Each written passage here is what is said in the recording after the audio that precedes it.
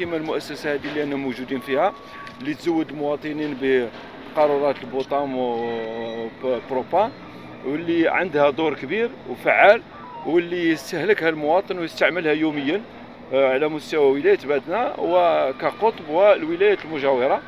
إذا اليوم رفعنا عليهم العراقيل ومكناهم من شهادة الاستغلال.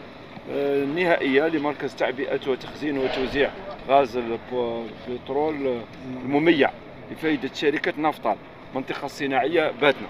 اذا كانوا يعانوا المؤسسه كانت تعاني منذ 1970 منذ نشأتها. إلى اليوم. تفضل سيد المدير شكرا. اذا السيد السيد الوالي حتى للإضافة